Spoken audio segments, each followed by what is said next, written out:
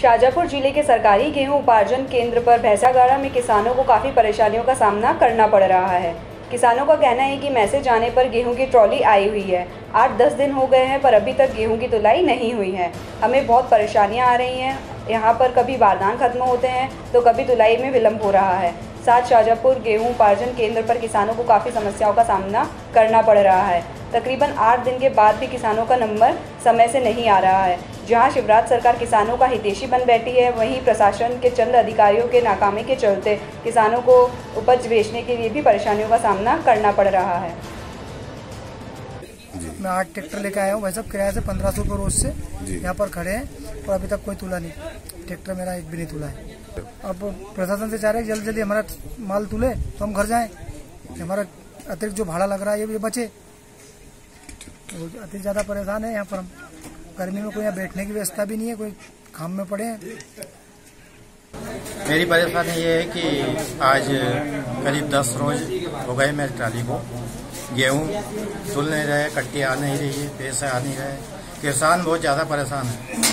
इसलिए शासन से निवेदन करते हैं कि हम किसान लोगों की सुने और जल्दी से जल्दी व्यवस्था करें। बस इतना ही।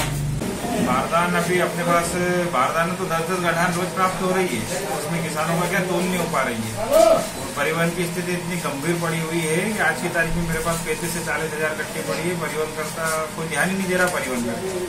बारदाने सूख रहे हैं और यहाँ पे चले अपन माल सूख रहा है ऊपर का कट्टियों में किलो कब निकल रहा है। अब ये घटती संस्थाओं के ऊपर ठहराएँगे लोग। तो ऊपर के अधिकारियों को कम से कम ये तो ध्यान रखना ही चाहिए कि अपना माल टाइम से उठ जाए, परिवहन समय पे हो जाए, बारिश आने वाली है, किसान परेशान हो रहे हैं मतदान की व्यवस्था नहीं हो पा रही है। और इधर से मैसेज लोग हो रहे हैं, अठारह तारीख के उधर के मैसेज तुल नहीं पा रहे हैं। किसान परेशान है, उन्नीस, बीस, इक्कीस के मैसेज खुल रहे हैं, उनको वारदान नहीं मिल पा रहे हैं। आज किसानों को ग्यारह रोज हो गए हैं, केंद्र पर खड़े खड़े, लेकिन उनकी तोल नहीं हो पा रही है।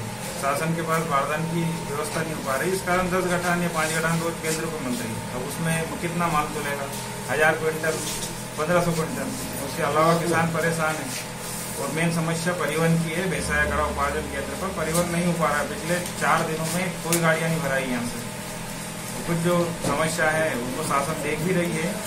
लेकिन जो मेन समस्या है, वो फ़िलहाल परिवहन की। शाजापुर से दिलीप, सौराष्ट्र की रिपोर्ट।